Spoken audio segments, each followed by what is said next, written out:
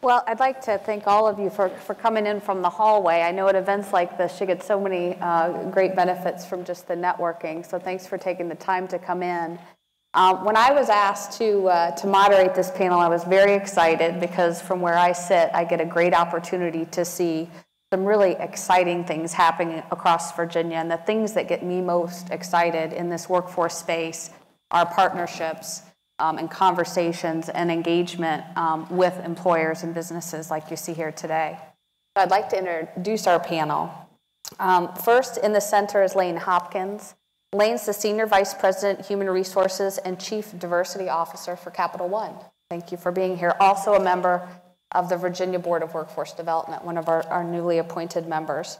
Um, she is the Senior Vice President of Enterprise Human Resources and the Chief Diversity Officer for Capital One. Uh, she leads the Fortune 500 company's corporate benefits, compensation, diversity and inclusion, HR operations, recruiting, talent acquisition, and talent management programs. I don't know how you fit that on your business card.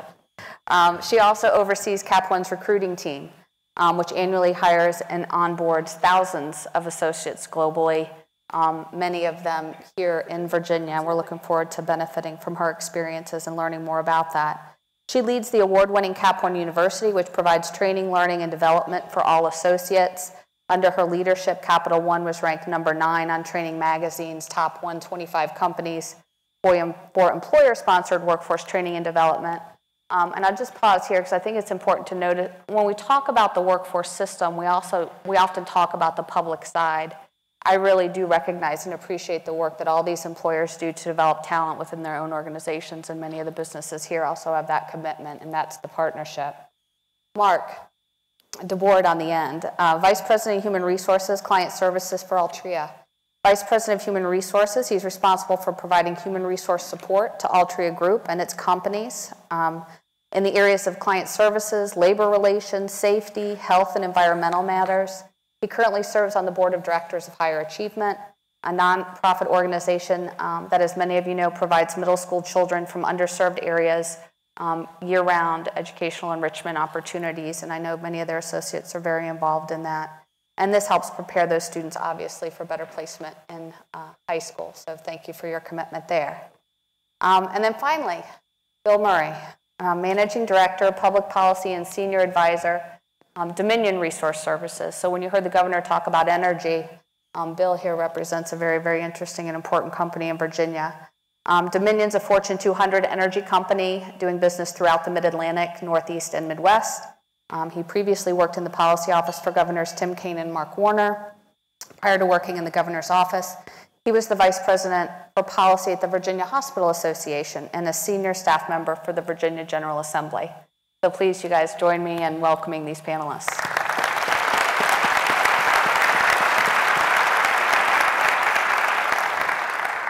So Lane and I were talking, we really do want this to kind of be a conversation and we appreciate, you know, lack of a six foot table with a, a curtain in front. I said, yeah, they're going to set us up Oprah style. And usually right now I'd ask all of you to reach under your chairs new cars for everybody. But um, I've got some questions which have been previously shared with this group, and what I'm going to do is ask those questions and give each of them an opportunity to respond with some with some time, I think, for some interaction and conversations amongst the group. So. Um, what I'd like to do is, is really start with um, maybe the most important question um, and ask each of you, you know, reflecting on your company's, you know, really unique business needs um, what are the top skills your organization is looking for? And maybe you could present this as kind of entry, mid-level, uh, senior level, if, if those are, are ways that you kind of distinguish these skills. And why do you see them becoming more important kind of as you look forward to the future? You want to start? Please. Um, I'm, I'm going to give an, uh, I should start by saying I'm Bill Murray and I don't work in human resources. So I'm the one panelist up here who's not a workforce professional. Uh, this will sound counterintuitive. The most important skill we look for at Dominion is what I'll call a 24-7 mentality. Uh, mercifully, last week, uh, we had a hurricane turn off the coast and head away from the east coast of Virginia. Uh, but the question is, if there's, there's never a question at Dominion, are we open? We're always open. 24-7, 365. A lot of places say that. Uh, the ones that mean it are public safety, hospitals, and, power, and utilities. Uh, we're always open. Most of our jobs don't require a college degree. About uh, three-fourths don't require a four-year degree. What they all require is a 24-7 mindset. And that is why, in particular, we've had great, uh, great luck hiring from the military because it's a very easy transition uh, to, uh, uh, from uh, something that even more so has, the, the, if you can go beyond 24-7, which mathematically you can't, but attitudinally you can, the military, military goes beyond that. Uh, so that's our most important skill. The second most important skill is probably lifelong learning, and that really, it's true if you think about how the utility business has changed. It's true in terms of how energy is changing. The governor talked about some of that. So I won't uh, bore you with the details. It's true as you progress throughout your career. Uh, frankly, we have executives who would be probably higher up in the organization if they'd taken a basic uh, public speaking class from one of Glenn DuBois colleges. Uh, we have people who uh, some of our most talented people in the company who know the most about the operations of the company are on the craft or union side of the business uh, because, frankly, uh, when the chips are down, when a storm has just caused major damage to the grid, a 45-year uh, veteran, a 45-year uh, tenured uh, veteran supervisor is a lot more valuable than a senior vice president in terms of how to rebuild the power grid. and that's something that really the, uh, the, the, community colleges now are talking about middle skills. That's an important concept. I'd even go further and call them critical skills. There's nothing middle skill about build, rebuilding the power grid right after a hurricane, running a, uh, running a nuclear plant properly right as it's being hit by an earthquake. Uh, we've had all of those things happen in the last few years. Uh, so those are sort of non-HR, more policy wonky kind of answers, but that's really what we're looking for at the minute. Thank you. And Lane. Sure. Uh, you know, Capital One is a financial services institution, but you're going to hear me talk today about our transition into more of a technology and information. We've always been an information-based company, but um, certainly pushing into that realm. I'd say we, are looking for several things. Some of the stuff we've always looked for. So we're looking for people that are analytically minded, positive problem solving, um, that are really um, comfortable working in a consensus-based environment. Uh, and I think those are skills you build from early education on. Um, I will tell you as we make the transition into more of a technology and, and customer-based, customer-focused institution, uh, we're looking for coders, developers, software engineers, data scientists, um, you know, a lot of the fields that we heard a lot about this morning um, and that quite frankly most companies are looking for right now, um, they are in short demand. Um, so we need, or short supply, high demand. Um, and we need to really focus in on how do we build that moving forward. Um, the last thing I'd say is we're really also looking for people who can think like our customers and work back to solve for whatever it is we need to solve for.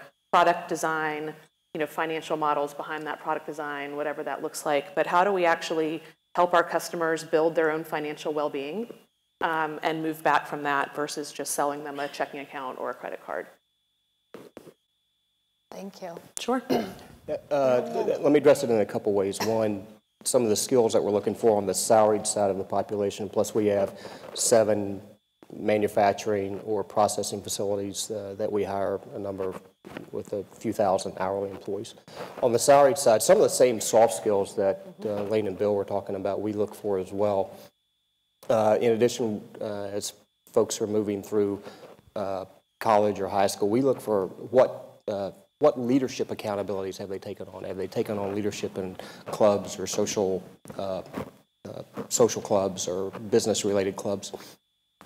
But some of the more particular skills, some of the same ones that Lane was talking about, digital is becoming a bigger issue.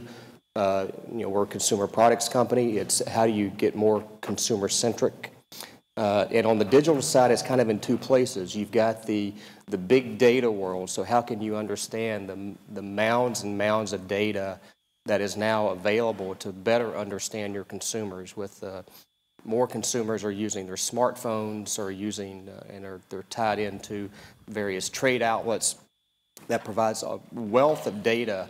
But unless you have the people who know how to mine that data and know how to get insights from that data then the data is just it's gobbledygook.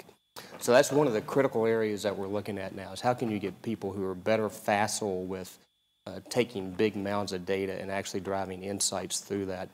But also, uh, same similar to what Lane was talking about, how can you better understand the consumer experience from front to front to end? There's a process called design thinking. UVA's got a school on it. Stanford has a wonderful school on it. Uh, and that really is about getting very consumer focused and learning how to basically uh, design for that consumer from the beginning to the end. Uh, We're really focusing a lot on that now, and I'd like to see more of that just taken out of the kind of the graduate schools at the universities and taking more down to the, uh, the high school level and start to teach some of those skills there. Very quickly, on the hourly side, we are starting to see real shortages in the skilled trades, uh, electricians, plumbers, pipe fitters. Uh, The, the average age of that population continues to go up, and there aren't a lot of people coming behind them. The, uh, the conference board did a study last year where they predicted, or or are predicting, a 15-year period where we are going to have a very tight labor market across a number of different skills. But skilled trades was one of the critical ones because even though manufacturing may not be growing like some of the other areas, the folks who are filling those skilled trade jobs now will be leaving, and there's not a pipeline of people coming behind them. I thought that was interesting, as you're all obviously in very different uh, businesses, but if I could kind of draw some boxes around some themes there, um, quite a bit around what I would consider, you know, employability skills or soft skills, uh, creative problem solving, you know, a good, a good work attitude and a commitment there. And then a couple big boxes in the technical skill space. It sounded like IT, maybe a shared need, particularly on the end. Um, and then skilled trades and technicians, which is an, uh, an area where, you know, we've identified um, as an opportunity for Virginia as well. Does that accurately, you think, represent? Absolutely. So understanding those two kind of really different, right, technical skills and then some of these that are just work habits, if you will, or, or attitudinal. What do you think education systems could be doing to better align with your future workforce needs?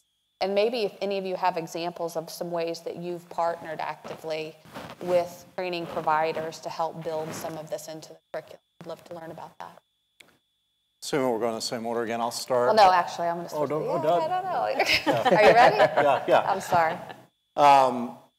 in terms of uh, the education system, really a key linchpin, I think Blueprint Virginia said this well, Barry's phrase that the community colleges are a core asset of state government, I think was very well put.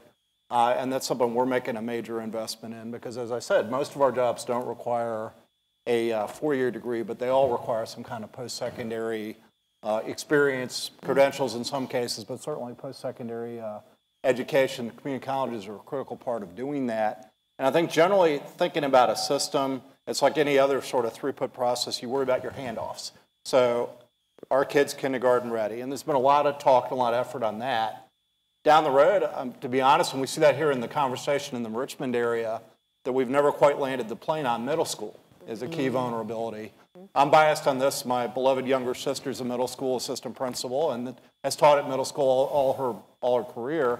That's a critical handoff. High school readiness is a critical handoff. And kind of the unsolved or unanswered question of a generation of K-12 reform is how is that translated into college readiness or mm. post-secondary readiness, broadly speaking, not just, you know, are you ready for freshman comp, but are you ready for the workplace and being able to crosswalk that. I've taught as an adjunct for 25 years, I guess, academic day labor, as we call it. And the one thing I've noticed, in general, kids are better prepared as far as technology and soft skills go. Uh, I think anybody who's taught will probably agree writing has not benefited from a generation of, uh, maybe we're doing better on math. We're, we're not moving the needle on writing, and that's something that we've really got to uh, got to work on because that's a critical critical workplace skill, and again, a key career derailer. As all of us have colleagues, if they were better writers, would have more potential in the workplace. Mm-hmm. So that's some thoughts there, but really those, those handoffs are critical. It's never too late, and that's why the community colleges are great. The great thing about the United States, we have second acts and third acts and fourth acts in careers. Martha Mead just told me she's retired for the second time. This is a country where you can do that, and what enables that in a lot of cases, the community colleges. That's fantastic. I think there are a lot of things we need to focus on. We um, recently commissioned a study through Burning Glass, which is an analytics and research firm, and we asked them to analyze a year's worth of job descriptions in all of the major markets in which we operate, and we actually had them look at the entire state of Virginia, given the presence we have here. And one of the things that they came back with, which we weren't surprised by the results, we, I think we were a bit surprised by the, the sheer numbers, 78% of middle skill jobs require some level of digital proficiency. So this is not coding, this is not software engineering, these are not data scientists, these are our call center agents. These are our tellers. These are folks who have to be able to operate some level of system, and they exist in all of our businesses. Um, and I'm not sure our schools are preparing our students for that. Um, in, of those middle skill jobs, if you have those digital skills, you make on average 18% more than you do if you, you know, in, in, in, a, in a different kind of uh, situation. And so, you know, it's really important that we focus in on how do we help our students learn that from a very early age. I don't teach in a middle school, but I have a middle schooler. Um, and, you know, watching her navigate that is, is, is really, I mean, it's, it is a focus of schools. I think we need to focus even earlier um, and with more effort. I think we need to help educate our educators. Um, I know at Capital One, we have focused a lot on the students. So we have several programs that we're running through, we have partnerships with universities at the university level where we fund research, we um, influence curriculum, we guest lecture. Um, we are focused with several non-for-profit um, uh, organizations around educating the workforce in digital literacy, financial literacy, and general job skills. Um, but I think the key also is we also are, have um, some, some um, pretty significant focus and volunteerism efforts in middle schools in all the communities in which we live and work, um, and in particular middle schools that tend to have less access to technology and digital skills than others. And so it's, um, it's something we've all got to really focus on. Thank you. A couple of things. One, I want to echo what Bill was talking about, about writing skills. It, it is, we teach a effective business writing class to people, to new well. employees, and it's basically remedial writing, uh, because it's the, and these are people who are coming out of college, college graduates that are having trouble with nerve vowel, or. Words- na- na- words have to word have a vowel right, to be a uh, word. Passive voice, uh, writing just clear, crisp sentences, because especially in a consumer products company, if you can't articulate Mm-hmm. your position, then you're going to have trouble connecting to that consumer. So if we could work on, uh, we've done a great job with STEM, but I think we have lagged behind on some of those, some of those writing skills. Uh, I also want to echo on what Bill was talking about, about the middle school focus.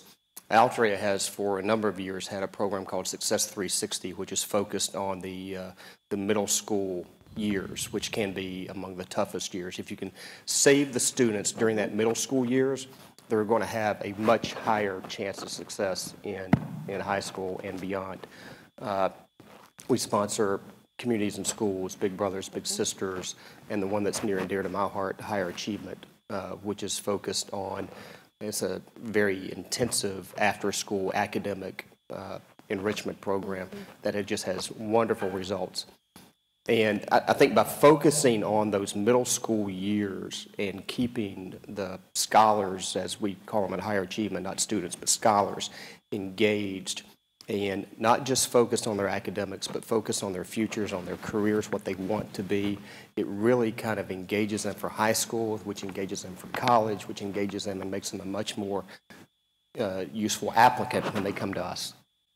Yeah, and I think these, these examples of commitments of bringing your associates into these, into these schools, for example, these academic environments is an incredible resource. Bringing real-world business skills and experiences into the schools is wonderful. I really liked your analogy of this handoff, and I was envisioning this, this workforce system as a, a relay team, if you will, um, and thinking about how from early childhood, and to do that, we've all got to be kind of running at pace, right? Um, and paying attention to those transitions. I think that's a really important message um, for a lot of us um, here in the audience. One of you know my board's big focus, and certainly the governor's kind of set this out as a goal for the workforce system um, as we look towards common performance measures moving forward. Um, all of us working towards some shared goals. Um, business engagement is one of them. Um, and so, what are some ways that you guys can uh, uh, envision um, partnering in new and different ways in the future with the, the education system or the workforce development training system? I'll, I'll distinguish those two a little bit if that's helpful. And maybe we could start on the end this time. Uh, The chancellor of the Virginia Community College System, I think he just completed a series of kind of listening sessions did, yeah. around the state where he invited uh, both members of the business community, educators, uh, government to come and actually talk about those issues and what are the what are the looming skill gaps. So I think that's one way that, especially the community college system, that uh, can do better. I think one thing on the on the employer side from the business community. Traditionally, I think we have been pretty good at projecting, here are the skills that we think we are going to need over the next one, three, maybe five years out. But really, if, if you're talking about investing in pre-K and elementary school and even middle school, you're talking 10 to 15 year out uh, projections. That's sometimes hard to do. But if you're talking about kind of changing the focus of an educational system, we do need to, from a business standpoint, the business community needs to get better at forecasting longer term versus just one, three, and five years out. Because if I'm forecasting three years out, I'm talking about a college freshman right now. I'm not talking about somebody who's in fourth grade. Right. So I, I completely agree. Um, I think we need to um, focus, we need to do a better job of, of articulating what we need in, in a much longer horizon. I also think we need to have a much closer alignment with curriculum development, with, um, you know, kind of what are the goals and what do we want, what do we want our students to graduate with versus just graduating with a piece of paper? What are the skills? Um, what is the, what is their path forward once they leave our secondary education system? And that can look different and, and it can take many paths, but um, I think we've got to figure out how do we actually build tools that allow us to assess um, what we need in the, in the business community, how that is then getting translated through the system. Because I'm not sure that those connections are being made, back to the handoff analogy. Um, So it- it's, it's, um, it's got to start, the theme of the day has been, it's got to start earlier. Right. Um, Our job is to do a better job of giving the school systems what they need. I think the school systems also need to be able to pivot way more nimbly than they can today. Uh, And that's a big ship to turn, I understand. Um, But, you know, the- by the time we put something in the system from a curriculum development perspective, it's several years before it starts to play through. Um, And I think the economy is shifting way too fast for that. Um, And we're going to see, we're going to continue to lag in the skills we need in the workforce going forward if we can't figure out how to create a different way to, to operate. That, I think that's an important observation. You add anything else? Uh, What I would just add is thinking about, there has been a little bit of tendency in the United States to waste human potential, whether it's with our correctional policies, whether it's, if you haven't taken algebra by the seventh grade or the eighth grade, forget about a STEM career. Uh, If you haven't, you know, if you're not, what I call, my daughter used to call the perfect kids in high school, where you've got a, a GPA higher than perfect, which is mathematically, I'm sorry, not possible. I know we ever overweight AP classes, but, you know, it's like Nigel and Spinal Tap, this amplifier is better, it goes to 11. But be that, be that as it may, we've had a tendency to waste human potential. We're competing with states, Florida, California, and Texas, with three and four times our population, and nations, India and China, with 125 times our population. The last thing Virginia can afford to do is waste anybody's human potential. And the great thing, we're wrong about the, it's got to be, you know, you've got to take algebra by the time you can walk. Sure, that's great for some of the kids. It's never too late. You could take algebra at age 30 and you can still have a reasonably, uh, not reasonably, you can have a great career. Right. And STEM uh, fields, it is never too late, even if you've had a brush with the law, if you've not been a perfect kid, if you've dropped out. That's why middle college, something Chancellor Dubois worked on years ago, was a great concept. It is never too late. And so, on behalf of my fellow late bloomers, uh, I like what George Bush said at SMU graduation this year. He said to the A students, congratulations. To the C students, you too can be president. Well, as someone who took, I think, business algebra when I was almost 30, Yeah. I can certainly attest to those kinds of opportunities. Uh, Sara, uh, can I just add something to what Please. Bill just said? Uh, About the late bloomers and providing that, those opportunities for people who may be beyond college. That, the same conference board report that I referred to a minute ago projected that over the next 15 years, Virginia's uh, working age population is actually expected to slightly decline. Uh, And it's because the folks who will be leaving the workforce outnumber the folks who are aged 3 to 17 right now. Now, fortunately, as the governor said, we live in a wonderful state where people like to move. So with migration and immigration, uh, that workforce will actually grow. But with migration and immigration, you're getting folks who probably are beyond pre-K, middle school. They, they may be people who are already in the workforce. So I think there is maybe that gap there, and Bill touched on it. Is there something that we need to be thinking about, how the people who are moving to the state, uh, do they have the skills that we need? Or is there a way that we can provide them with the skills, given the fact that our existing work, uh, working age population is expected to decline over the next 15 years? I think that's a really important point too, and we spend a lot of time, we talk about Virginia like it's this kind of uniform, right? Everything is equal, but there are many Virginians, I, I like to say. And so some of the experiences that, that's happening in the labor market here in Richmond, for example, are much different than what's being experienced in Southwest. So that's something we also have to react and respond to um, on a regional level um, as well. Um, you guys had mentioned some partnerships that you've formed. Um, how do you measure the success of those initiatives? Um, or or do, you, do you have success measures? Is, is just being there enough? And maybe Lane, maybe you could start there. Sure, we have, um, we have some longstanding partnerships. We also have some pretty new partnerships. We've launched a five-year um, program called Future Edge, um, in which we have, uh, are going to be putting $150 million into um, digital and financial literacy, literacy skills across um, the, our communities in which we live and work.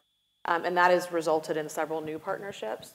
Um, one of them is with Grovo. Um, and part of, I think, the theme here is I think we also need to look at some potentially some places to provide education and certification that haven't that are new.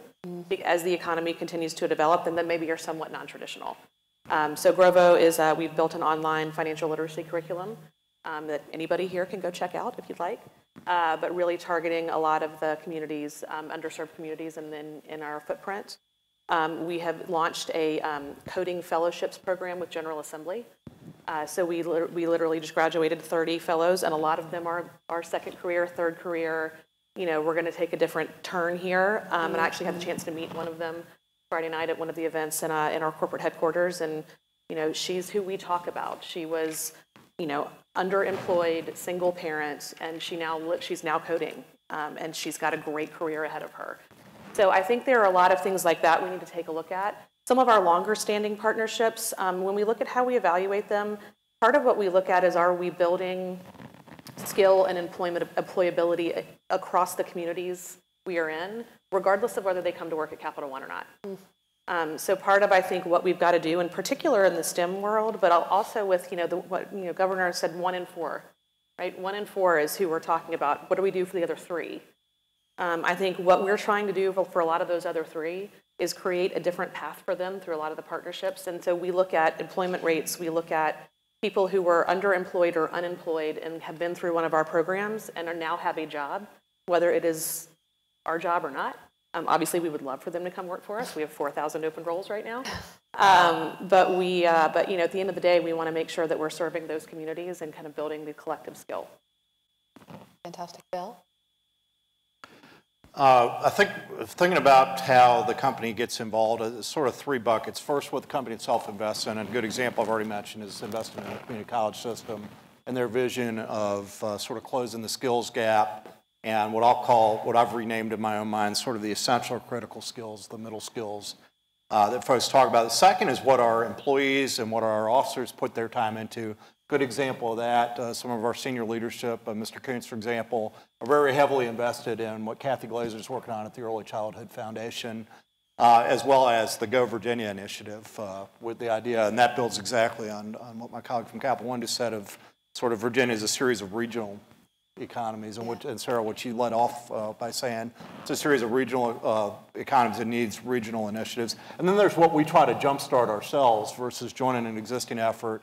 An example there was Troops to Energy and getting the energy industry focused on hiring veterans. But I will say, we often think of what the company does as the most important. To my mind, I would say that's backwards. It's more, I think we, we speak loudest with what our employees actually put their time and resources into. Great. Yeah, a couple things on how, on measurement itself. First, I'll talk about kind of some of our college relationships that we have. We recruited 20 different colleges uh, around the country for both their jobs here and their jobs in the sales force around the country. And we have, we call it the Leadership Investment Fund, where we make investments at each of those colleges. And one of the ways we measure the results of that is what are the students that we're getting? Are we getting a good return? Are we uh, having success, getting good quality applicants. And then when they come to us, how are they doing once they get there? Are they getting promoted at a certain rate? So that has a lot of metrics around uh, that particular investment. The other investment, the one I talked about earlier, the Success 360, the investing in the middle schools, especially here in Richmond, we've been at, it for a little while, but the, the more recent kind of heavier investment, especially around higher achievement, uh, just started four years ago. And so the most recent graduates out of that program are just now freshmen and sophomores uh, in high school. But higher achievement has a number of metrics around uh, how many are maintaining A to B, how, how are their attendance, uh, at least here in Richmond. The national program actually has some great statistics around uh, college graduation rates for inner city middle school students and how many are going to competitive high schools.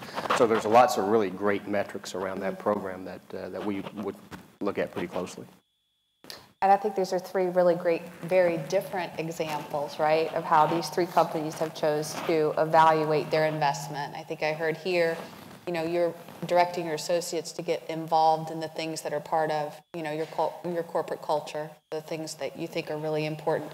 Here, we're standing up initiatives and driving skills development in areas where there's a noted gap. D- digital literacy, I think, is an area where there's been some mark. And then in your example, um, investing directly in the college space, the higher ed space, which is a much different example, and being able to actually calculate a perhaps a financial return to your company.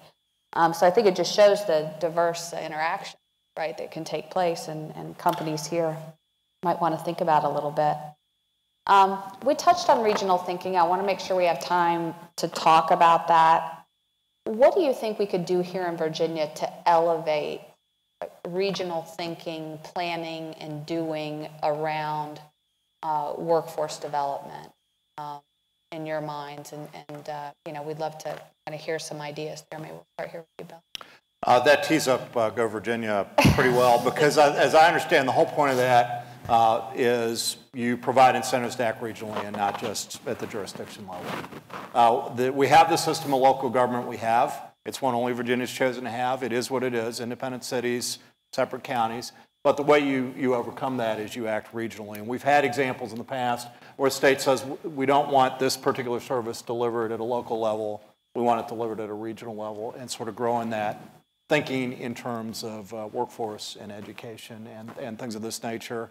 Uh, the great the great thing is, uh, yes, we talked. The governor talked a lot about the challenges of the, the wind down and, and sort of the federal defense spending from the global war on terror. That's a challenge, but it's also an opportunity. It's an opportunity to wean ourselves off being a one industry state. Right. Uh, we're going to always, just as there will always be in England, there's always going to be a substantial U.S. military commitment. But there are so many opportunities, whether it's, uh, the governor mentioned new energy, whether it's in data analytics, whether it's in energy storage, which is a huge untapped frontier, whether it's cybersecurity, there's so much opportunity. We have so much human potential coming out of all levels of education, uh, and every region of the state's got the opportunity to seize on that. There was a time at the turn of the last century when Southwest Virginia had more millionaires than any other part of the state. So there's something every, in the digital economy, every part of the state uh, can play in these new industries, and that's something, it's about time we got to work on that, and that's why I'm glad Go Virginia's focused on it. Fantastic. Thank you. Um, Sure. I, I think a lot of it is um, coming up with a set of common goals um, and, and, a, and a very small number of them um, that everybody's willing to work against. I was, uh, was had the pleasure of attending a workforce development event in Northern Virginia a couple weeks ago, and I found myself in this small group conversation about kind of the definition of Northern Virginia. And I was the only person in that group that wasn't that didn't live in Northern Virginia. I'm here, Richmond based, and I just said, hey, just so y'all are aware, you know, for those of us who don't live up here, we think anything north of Fredericksburg is Northern Virginia, right? Correct. You know, you When hit that traffic second exit, right? Yes, the second exit You of drop to 95, 40, you're- Fredericksburg exit, then you're in Northern Virginia. And, you know, Stafford County was not even represented in the conversation. And so part of it is what are you working back from? Right? So, you know, they were kind of having, and it was a great discussion, but it was kind of, hey, like as someone who's a, who's a bit of an outsider in this discussion, I have a completely different view of Northern Virginia than what you guys are talking about. So who is your target audience? What are you working back from? What are the two or three goals that we're going to go after? Because not surprisingly, we were all over the map because there's a ton of work that needs to be done in a bunch of different places. Um, but you're never going to actually get regional commitment for 15 goals. You need to get regional commitment for one, two, maybe three. and then determine what it is you're trying to accomplish and how do you work back from that. And your thoughts on, on regions and organizing workforce resources? Yeah, I'll give an example of uh, something that I think has worked pretty well, but also has greater potential to work even better. It's the Community College Workforce Alliance between John Tyler and J. Sarge. Uh, They combine forces, they've got resources behind it, they work with local businesses to, to do, answer a lot of the same questions that we're talking about today, and, you know, put together community college level programs that you can either send your folks to, or they will actually come on site and help train. But that type of kind of regional cooperation between the community colleges, and then they bring the businesses into that conversation, I think is a good model that can work. Uh, I think it has a lot more potential, though. I think that's a great example too about how two institutions can kind of combine assets and resources to, to solve a regional um, need. I will tell you, since I, I joined the team, um, I spent a lot of time thinking about regions and at the state level, looking at how many, you know, we talk about workforce areas, for example. How many of you are familiar with that regional definition? Um, local workforce areas? Some hands, mostly on the system side, exactly.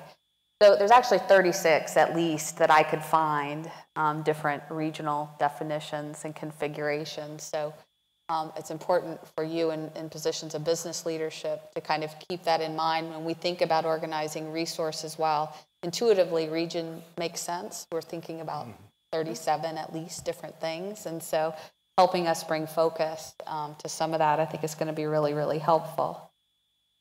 Um, thinking about the future a little bit. Um, Lane, I think you touched on it on just, I don't know, one of you touched on it about really needing to be able to think further into the future. Mark, maybe you touched on that too, a little bit about how you do workforce planning. And then also, I'm really interested in this idea of, of signaling um, skill requirements, for example, because that's something I think on the workforce system side, we're looking for those, those lighted beacons, if you will, so that we can start building some of these systems. But when you think out into the future, maybe just in those two domains, um, demand planning on your, on your behalf and how you can start thinking about skill needs for the future, what do you see your organizations doing, or maybe what would you like to see your organizations doing? Let's start with any of you that that may have a thought there.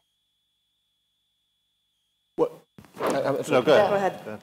One of the things that we've been doing, uh, especially since this, I keep mentioning this conference board report that came out uh, last year, uh, I think it was uh, not enough, from not enough jobs to not enough workers. And it was talking about the coming labor shortage because of the, the generational gaps, the boomers retiring, not enough Gen X, and uh, to some extent Gen Y coming in behind. So we've actually spent the last prob, almost year looking at some of the uh, implications from that report because it actually has, it breaks it down in very much detail uh, uh, by job code, job classification, Right. the expected labor tightness for each job classification over the next 15 years. And so we're starting to match some of that stuff up with what we expect some of our needs to be. And we talked about a lot of them earlier. Yeah. And, okay, if, knowing that we're going to have trouble hiring electricians five years from now, 10 years from now, or digital marketers, five, even today, we're having trouble with digital marketers. What are some things that we can start doing? What are the schools we need to go to? What are the investments we need to make to help get those people 15 years from now, who may Right. be in fifth grade today? Mm-hmm. Yeah, I think it's an important observation. It's a bit very similar. I think we, um, you know, the White House issued a report that by the year 2020, we will have um, a um, a million person shortage in STEM fields for the jobs we have in the United States. We will fill those jobs somehow, may or may not be with American workers. Um, So a lot of it is how do we actually start in the fifth grade? Um, And it is, and you know, this, the actual technologies will shift over time. So I think a big part of what we need to build is also, and I think, Bill, you mentioned it, what we call learning agility. Um, Lifelong learning, you can call it a whole host of things. But, you know, if you have a technology mind, if you have a digital mind, if you have, you know, if you love information, um, the actual things you will use to, in, in your, in the, the tools you'll use in your craft will shift quickly. Um, but you need that orientation. Uh, so how do we actually build that early on? And again, I think the important message is it's not just the software engineers. you know, 78% of middle skill jobs require digital skills. And so how do we ensure that, I mean, I would imagine most of the jobs in all of our companies require some level of ability to, you know, kind of operate an Excel spreadsheet, navigate through a system, whatever that is. Right. How do we actually make sure that our workforce has that going forward? That's never going to shift. And Bill, I apologize. I've been told I really need to do this lightning round. I've talked enough. I've got my yellow light. I've got my yellow light. So this is, this is really an important question because this gets to, you know, hi, I'm with the government and how can we help, right? Hi, I'm with the business community, how can we help? What actions do you think uh, could be taken at the state or federal, federal level that would make the most meaningful difference when you guys think about the skills gap that's affecting your particular business? Uh, Most meaningful, better handoffs, starting at pre-K uh, and going all the way through to graduate school. Better handoffs from each level into the workplace for the next level. And realize it's a loop. It's not a, it's not a train going one place. It's a loop that lasts all throughout life. Right? Uh, I think ensuring every student that comes out of high school has a path forward, be it trade school, be it a Kickstart program, be it community college, a four-year degree, vocational training, internship. Like I said, you can take a ton of different paths, but they need to get out with more than just the piece of paper. They need to get out with what's, what's their next step to build a meaningful career. Right. I I echo both of those. Uh, I I will add, at the federal level, I I think we do need to address immigration reform, uh, given this, given the tightness of the market that we see coming, the, just because of the number of boomers going out, not enough people coming behind them. We're, we're going to need talented uh, people who are not born in this country uh, to fill some of those jobs. I think that's an important addition. Hasn't been a part of our discussion, but I do think that's perhaps one solution in some of these areas. So that's the end of our time, right on time. So why don't you guys join me in thanking the panelists?